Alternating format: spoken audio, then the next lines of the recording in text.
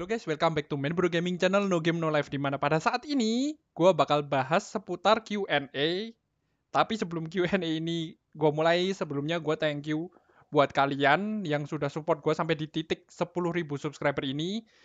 Dan perlu kalian tahu mungkin ada yang nanya bro udah berapa lama jadi youtuber? Gue itu mulai meniti karir YouTube tuh sejak tanggal 20 April bulan kemarin. Jadi hampir tiga bulan ya dan gue dimonetisasi kurang lebih satu bulan 20 hari kurang lebih. Dan OPM ini salah satu yang bisa menyebabkan gue sampai di titik ini tidak terkecuali Idle Legend ya. Itu Idle Legend salah satu game yang bisa membuat gue sampai di titik ini juga sih. Jadi sekali lagi gue terima kasih yang pertama untuk Tuhan Yesus dan kedua istri dan keluarga gue yang ketiga nih yang lagi lihat gue thank you banget buat kalian karena ke depannya gue bakal bahas seputar game-game, nggak cuman OPM dan Idle Legend. Dan sebetulnya, oh ya ini gue mau kasih tahu dikit, jadi durasinya mungkin sekitar 20-30 menit ya, karena bakal lama. Jadi kalian yang mau denger story gue, silahkan. Jadi harap bersabarlah. Jadi gue bakal cerita dulu dikit, jadi kenapa kok namanya Mad Bro?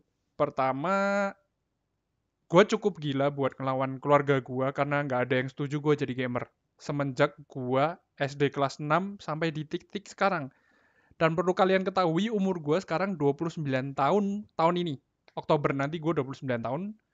Gue udah punya istri, nikah pada umur 27. Belum punya anak. Jadi masih woles karena kita nyantai dan juga kenapa kok gue dinamain Mad Bro? Pertama gue dari dulu zaman mulai gue main Dota itu namanya Mad Bro. Dan juga gue main Eden Eternal dulu sempet agak lumayan terkenal di sana karena main pakai beruang ras beruang. Gue namanya Mad Bro karena apa?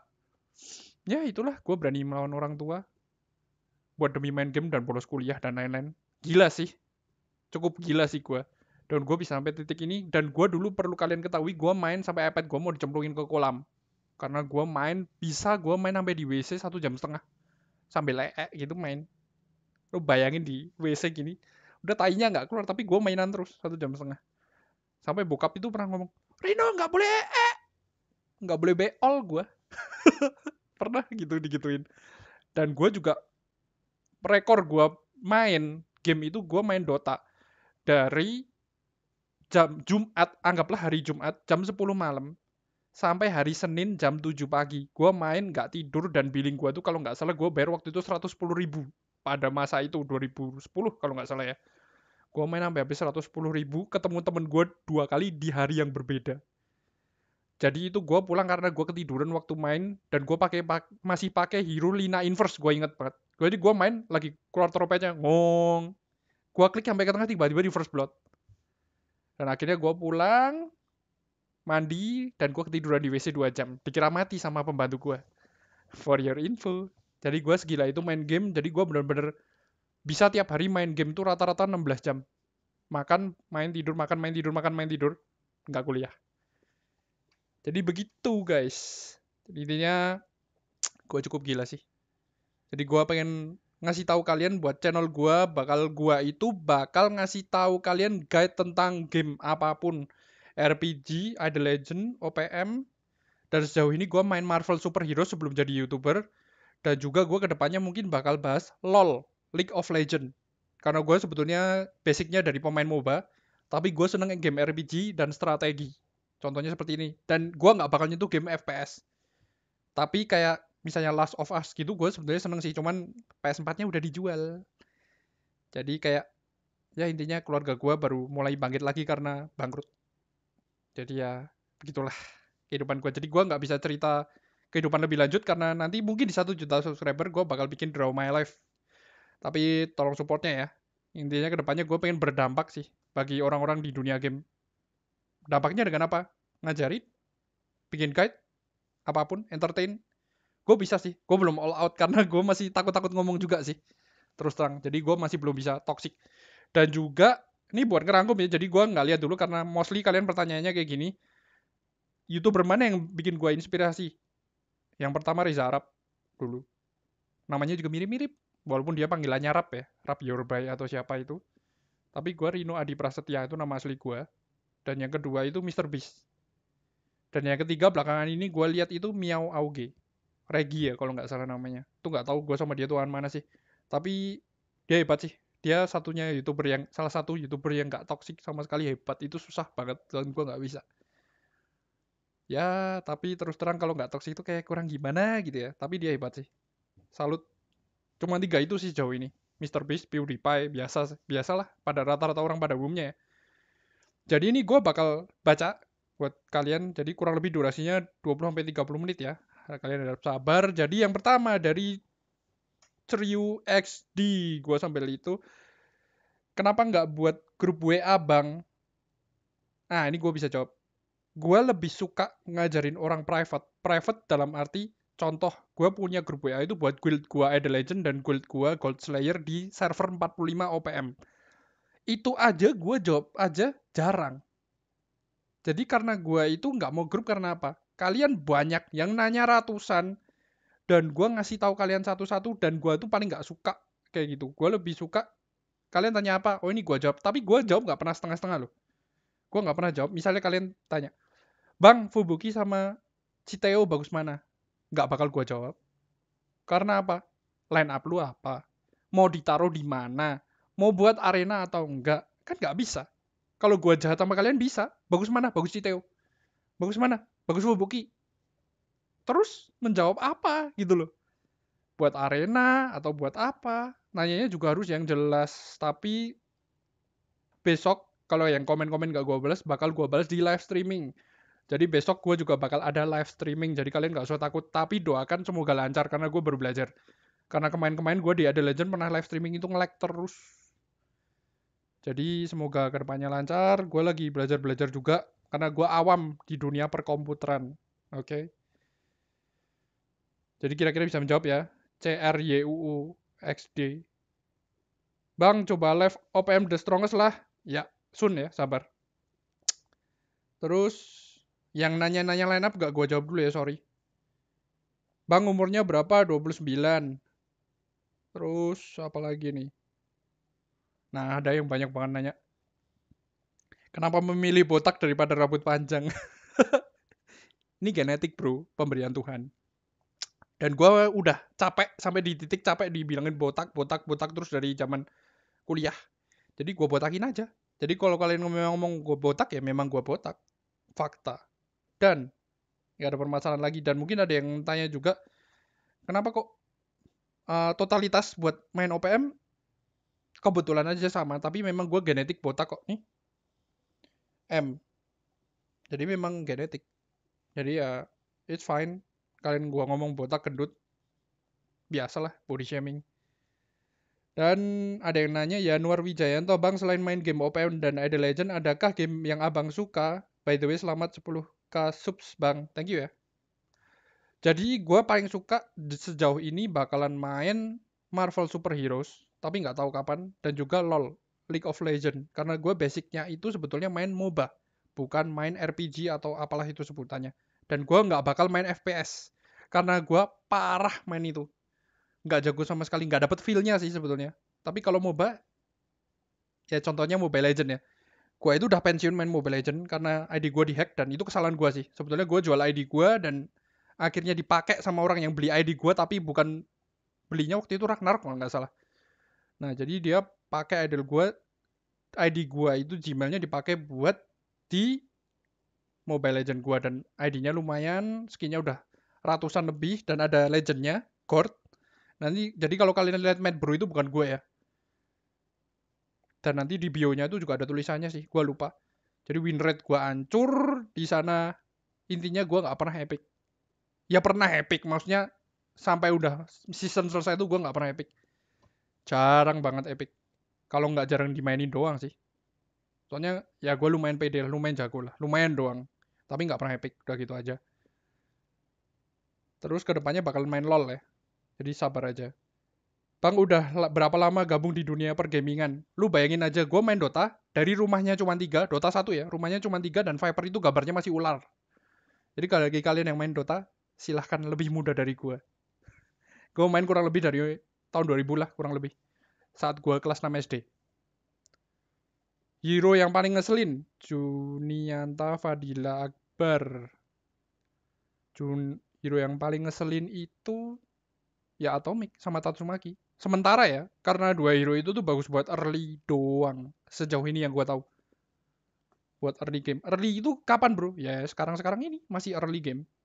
Jadi speed tuh paling bagus kalau kalian mau menang.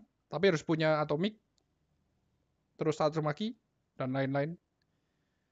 Bisa kalah nggak? Bisa. Gua nggak ngomong itu paling kuat ya. Sementara ini yang paling kuat itu.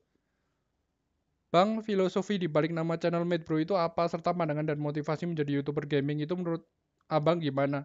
Channel Made Bro ya karena gue gila aja. Gue 29 tahun gak direstuin orang tua main sampai di titik ini gue ngeyel akhirnya gue bisa jadi YouTube. Eh baru-baru sih baru tiga bulan. Dan pandangan dan motivasinya gue jadi YouTube tuh gue pengen menjadi berkat bagi orang melalui game. Caranya gimana? Dengan bikin guide, dengan menghibur kalian di YouTube.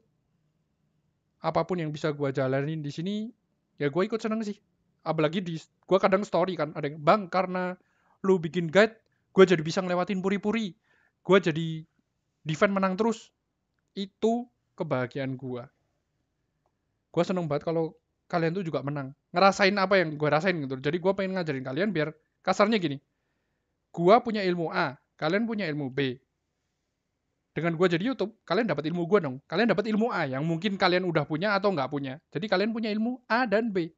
Di mana gue punya A. Otomatis kalian pasti lebih pintar dari gue dong. Nah, itu tujuan gue. Jadi kalian main tuh nggak cuman buat... Gue main cuman buat waktu kok. Nggak usah. Mending tidur aja lebih enak. Boros kota, top up, banyak kok minusnya. Jadi at least tuh kalian buang waktu itu buanglah waktu dengan bagus. Niat main, menang, nggak stres Sip. Itu kira-kira gue. Bang, Hardianto gaul, Bang. Apakah di channel ini ntar kayak bahas OPM versi Cina nah? Cinanya, iya. Tapi gue lagi belajar dulu karena gue nggak mau cepet-cepet bikin karena apa? Gue nggak mau asal. Kayak hero yang udah di sana mau TWK global sistemnya atau eventnya. Karena orang rata-rata gue kasih tahu nanti hilang.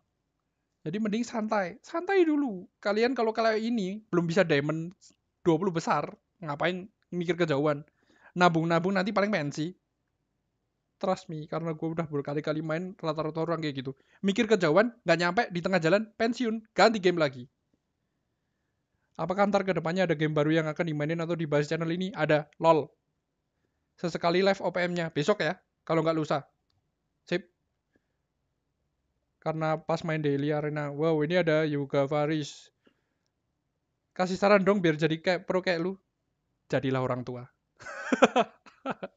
Gue udah 29 tahun guys. Nah ini ada yang pemain The Legend nih. Dwi Kurnia Rahman. Kenapa jarang main The Legend? Salah. Kenapa jarang bikin konten The Legend? Gua masih main. Tapi jarang bikin konten. Tolonglah The Legend lagi. Lu lucu banget kalau main The Legend.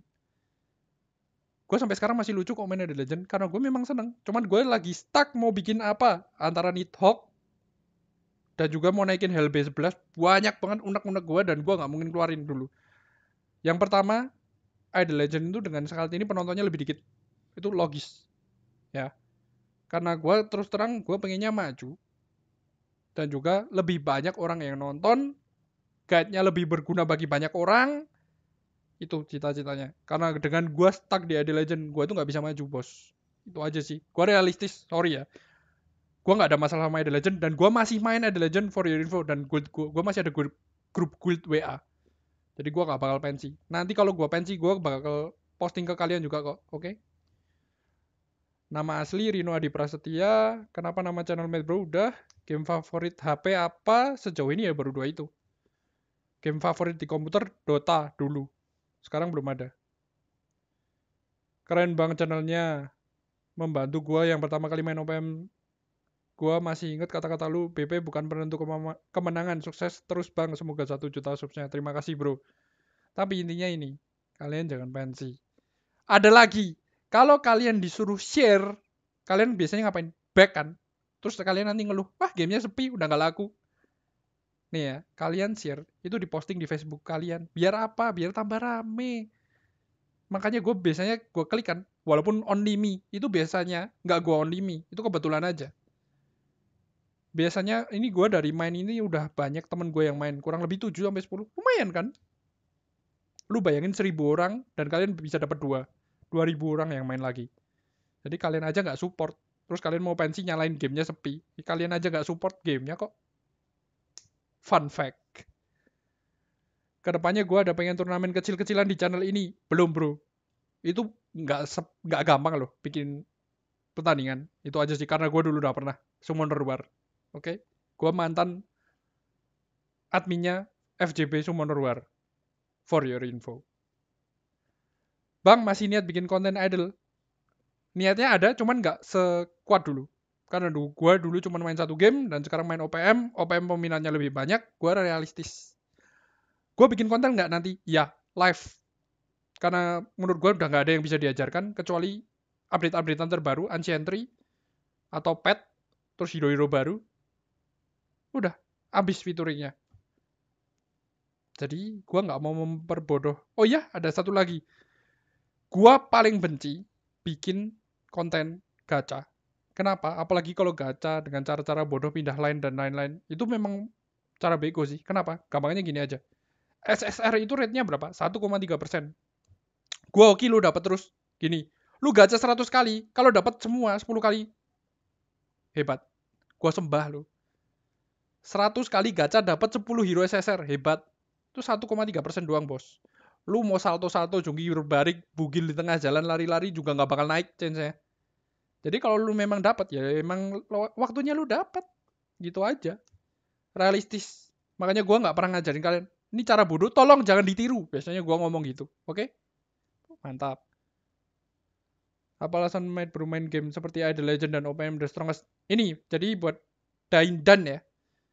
Gua capture dulu. Idle Legend itu game lebih santai daripada OPM. OPM tuh lebih spending waktu. Karena daily questnya juga lebih banyak dan lebih ribet. Tapi, kalau lebih balance, gue lebih senengan Idle Legend. Idle Legend itu balance. Dan lebih lucunya lagi, tank nggak terlalu kepake, ya tank nggak terlalu kepake. Support kepake banget di sini. Sedangkan OPM support tuh nggak kepake. Luar biasa. Nggak butuh supporter butuhnya damage dealer semua. Jadi kayak satu burst damage satu itu lebih ke balance. Survive. Itulah. Tapi intinya dua-duanya bagus kalau kalian yang sibuk kerja gue saranin main Ada Legend itu bagus. Nggak nyita waktu. Channelnya bakal fokus ke gaming. Iya. Ke depannya nggak tahu. No game no life bro. Kalian hidup aja main game kan? Peta kumpat main bola main game itu nggak bisa terlepas dari itu. Game olahraga same. Kehidup di kehidupan kalian tuh kasarnya gini. Kalian main game ada achievementnya kan? Sama kayak hidup. Juga ada achievementnya. Semua bisa dibikin kayak game bumi itu datar atau bulat bulat bro kok buat discord not yet karena gue masih belum bisa ngatur waktu sorry ya Bukannya nggak mau, tapi masih belum bisa. Angela Lea. Kok BP kenapa channel Lumet Bro udah ya? Kok BP Golden Ball lu tinggi banget bang? Gua kasih semuanya di di Golden Ball gua. Nanti kalau ada Atomic juga gua kasih semua. Nah, gue juga mau jelasin. Atomic itu kenapa gua ngarbat? Gue suka banget sama hero-nya. Jadi ya gue memang suka Atomic dari dulu. Dari komiknya ya, bukan animenya. Gue nggak nonton anime. motivasi bikin channel YouTube ya itulah. Gue pengen menjadi berkat bagi orang melalui game. Deep kan? Menjadi berkat loh. Gimana caranya? Nggak tahu. Ya ini yang gue jalanin sekarang. Biar gue itu. Semisal lo dapat atomic line apanya bakal gimana Citeo bye bye enggak enggak enggak Sonic yang hilang Sonic gue hilang gue gantiin terus efek-efek seputar game bakal gue jelasin di live ya, sorry. Hero favorit lu di OPM apa? Atomic. Titik. Tapi ke depannya nanti bakal ganti kok, santai aja. Bang, apakah ke depannya main game selain mobile kayak PC, PS, Xbox, dan juga apakah channel ini akan fokus pada game aja atau tidak? Fokus pada game aja. Tapi mungkin nanti no game no life bro. Jadi mungkin ada game kehidupan juga. Karena gue nggak mau membawa game itu cuman game itu konsol. No banyak jadi tunggu aja ya tapi dengan game nggak konsol itu gue butuh subscriber karena gue nggak mau effort gue segini yang lihat baru segini percuma nanti dulu aja sambil jalan. Dinikmatin aja. Karena gue nggak mau stuck di satu game doang. Dan gue perlu kalian ketahui, gue bukan player musiman. Titik. Terus sejak kapan main Idle ya? Dari pertama kali server 76 keluar. Gamer kesukaan gue kalau di Indonesia Miao Auge dan Reza Arab. Rap Your By atau YB atau siapa dia ganti nama terus kan. Kesan pertama rambut rambut lu botak gimana bang? Kalian tahu saat kalian dibotakin semua mata tertuju padamu. kayak ya gitulah rasanya kayak insecure. Hah, ini orang lihat-lihat gua semua ya, sinting. Lampu taman berjalan. Terus Wah, orang Jawa, Jawa nih, rakyat santuy. Terinspirasi teko sopo, Bro, kok sampai gawe channel YouTube. Ora terinspirasi teko sopo-sopo. Nggak terinspirasi dari siapa pun, cuman pengen aja. Semuanya muncul dari niat, bukan dari orang lain.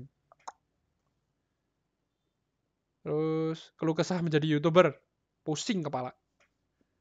Kalau kalian bikinnya ngasal sih nggak pusing. Kalau gue pusing karena gue mikirnya pakai hati kelihatannya konyol ya, konyol ya, tapi memang itu kenyataannya. Kenapa alasan lu nge-YouTube dan mengapa main OPM dan sama Edel? Karena ngalir aja, nge-flow.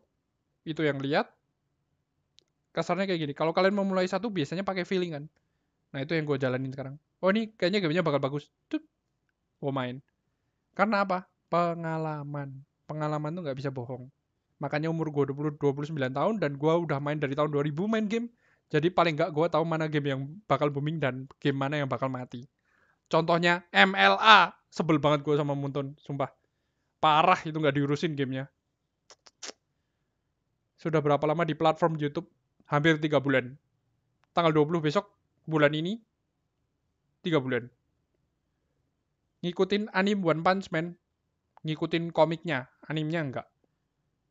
Suka nonton anime nggak nggak suka nonton suka baca komik. Kingdom Kengan Omega Black Clover dan masih banyak yang lain. Karena stay at home Bang kenapa nggak bikin klub sendiri di OPM The Strongest? Udah bro, itu lagi jadi bahan pembicaraan di apa namanya Facebook. Katanya member gua ada yang fuck Allah. Ya itu. Ya, yeah, gua nggak tahu nggak ngapa-ngapain ada yang ngomongin ya terserah sih. Itu lagi ya dilaporin juga oh, member gue tapi gue nggak kenal sih orangnya ya silahkan dilaporin gue juga nggak ada urusan kok ngurus-ngurus gituan ngapain kurang kerjaan terus setelah game OPM udah kompetisi klub itu gimana cara mainnya bang coba dulu karena gue aja baru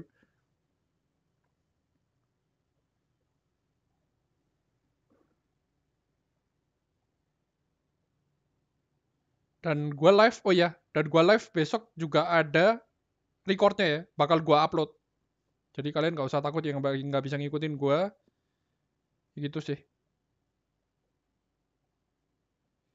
Bang, saya dari coba The Legend jadi lumayan gara-gara abang. Thanks. Terima kasih kembali karena kalian sudah nonton dan berdampak pada game kalian. Itu means a lot buat gue. Karena gue pakai hati ngasih taunya. Jadi kalian bakal kasih gua kasih tahu guide-guide gua dari pengalaman gua. Jadi nggak mungkin ngasal gua.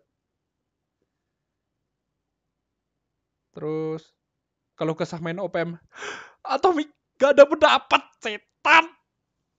Itu aja. Kalian pasti tahu. Bang, balas DM gua. Gila lu lebih galak ya daripada istri gua. Terus apalagi deh. Kita yang bawa-bawa ya. Udah dapat AdSense belum?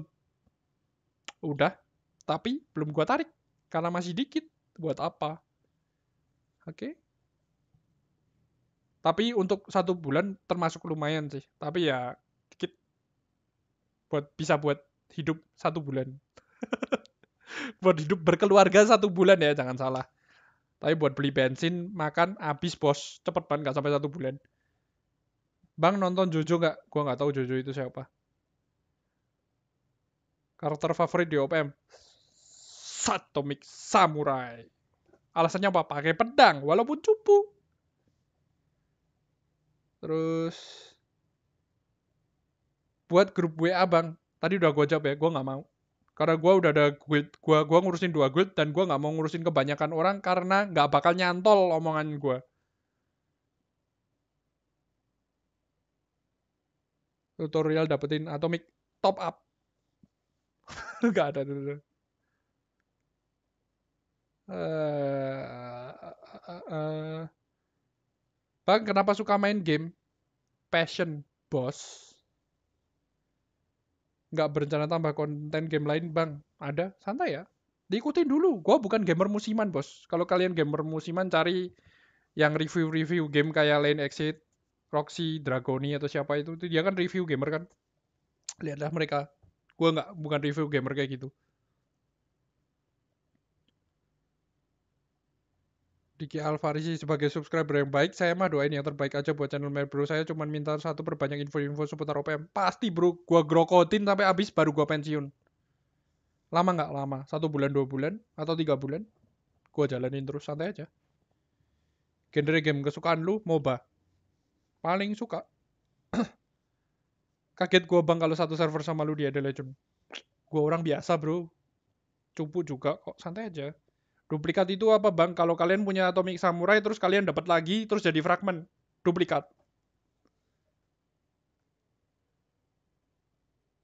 Banyak pemula. Bang kenapa lu bisa botak? Astaga. Body shaming terus kamu dek.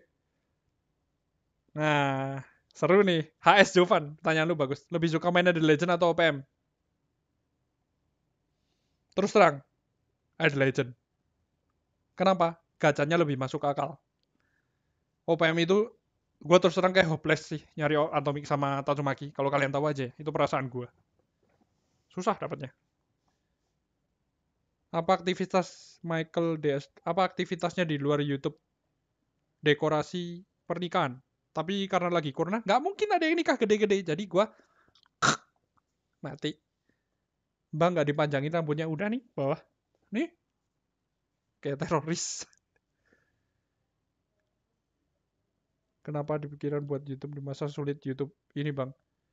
Kalian jangan salah ya, ini masa sulit sebetulnya masa-masa di mana kalian tuh bisa berkembang karena kerjaan pada ambruk kalian bisa naik yang di bawah-bawah. Jadi jangan pernah berpikiran ini tuh sulit. Salah kalian. Banyak peluang. Bang, kenapa lu botak, botak, botak? Kenapa nggak dapat atomik? Botak, kenapa namanya mad bro? Gila. Body shaming terus. Jadi itu aja sih bro rata-rata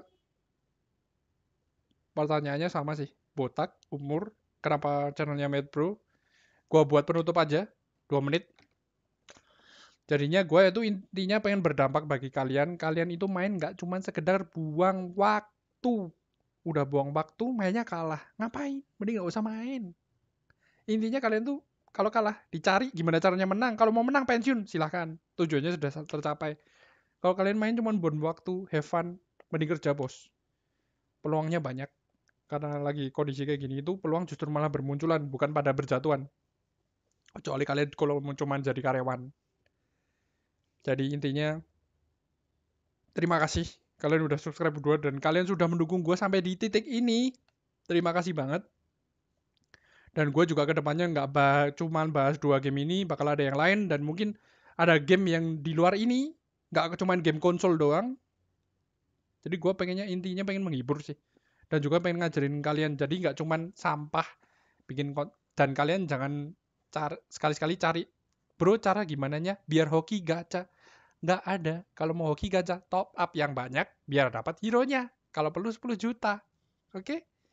Jadi intinya realistis di channel gue. Thank you buat yang kalian toxic atau nggak toxic dan yang bisa sampai di titik gue sampai di titik ini. Intinya gue nggak mau kalian subscribe di gue tuh tapi kalian nggak dapat apa-apa.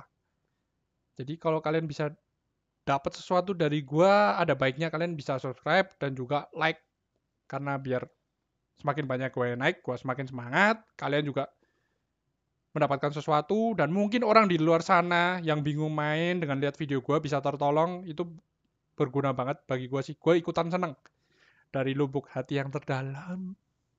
Jadi itu aja sih dari gue guys. Thank you for watching. Sorry ya videonya lama karena sebetulnya masih banyak yang pengen gue bicarakan tapi nanti kalau udah satu juta subscriber gue bakal draw my life. Dan yang pasti draw my life gue nggak kaleng-kaleng. Oke okay? karena dram kayak drama hidup gue thank you for watching guys. See you on the next video. Jangan lupa besok gue live streaming. Doain semoga lancar ya biar bisa live streaming. Bye bye